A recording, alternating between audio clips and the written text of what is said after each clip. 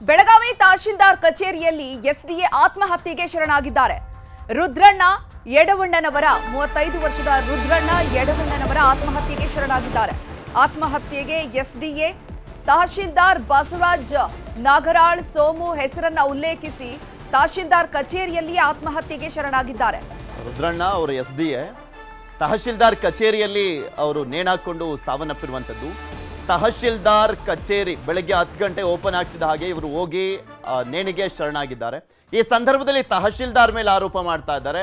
ಮತ್ತೊಂದು ಕಡೆ ಲಕ್ಷ್ಮೀ ಹೆಬ್ಬಾಳ್ಕರ್ ಅವರ ಪಿ ಎ ಸೋಮು ಮೇಲೂ ಕೂಡ ಆರೋಪವನ್ನ ಮಾಡಲಾಗ್ತಾ ಇರುವಂಥದ್ದು. ನಿಮಗೆ ಅವರು ಆರೋಪ ಹೇಗೆ ಮಾಡ್ತಾ ಇದ್ದಾರೆ ಅಂದ್ರೆ, ಕೊನೆಯದಾಗಿ ಆತ್ಮಹತ್ಯೆ ಮಾಡ್ಕೊಳ್ಳಿಕ್ಕೂ ಮುಂಚೆ ಅವರು ವಾಟ್ಸಪ್ ಗ್ರೂಪ್ಗಳಲ್ಲಿ ಹಾಕೊಂಡಿದ್ದಾರೆ. ನನ್ನ ಸಾವಿಗೆ ತಹಶೀಲ್ದಾರ್ ಬಸವರಾಜ್ ಹಾಗೂ ಸೋಮು ಇವರೇ ನೇರ ಕಾರಣ.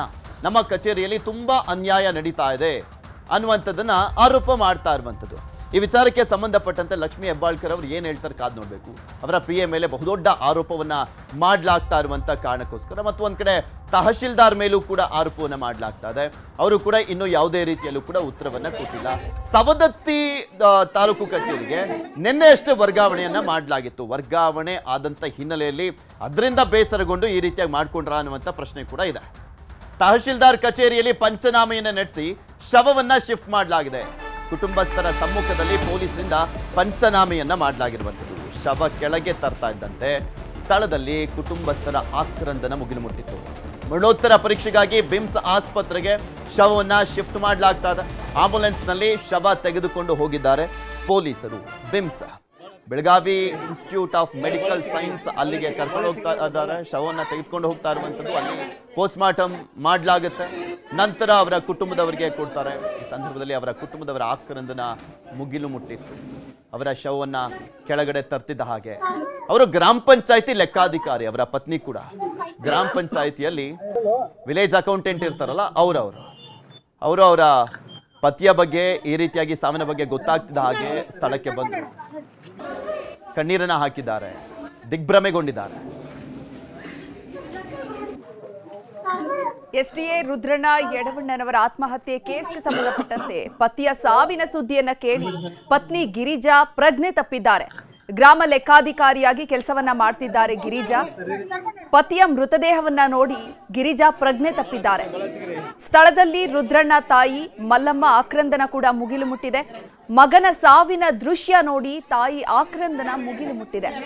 ಬೆಳಗಾವಿಯಿಂದ ಸವದತ್ತಿಗೆ ಟ್ರಾನ್ಸ್ಫರ್ ಮಾಡಲಾಗಿತ್ತು. ವರ್ಗಾವಣೆಯಿಂದಾಗಿ ಎ ರುದ್ರಣ್ಣ ಮನನೊಂದಿದ್ರು ಇಲ್ಲಿಗೆ ವರ್ಗಾವಣೆಯನ್ನ ಮಾಡಿಸಿಕೊಳ್ತೀನಿ ಅಂತ ಹೇಳಿದ್ರಂತೆ ರುದ್ರಣ್ಣ. ಮತ್ತೆ ವಾಪಸ್ ಇಲ್ಲಿಗೆ ವರ್ಗಾವಣೆಯನ್ನ ಮಾಡಿಸ್ಕೊಳ್ತೀನಿ ಅಂತ ರುದ್ರಣ್ಣ ರುದ್ರೇಶ ತಾಯಿ, ಮಲ್ಲವ್ವ ಮಾಧ್ಯಮಗಳಿಗೆ ಈ ರೀತಿಯಾಗಿ ಹೇಳಿಕೆಯನ್ನ ನೀಡಿದ್ದಾರೆ.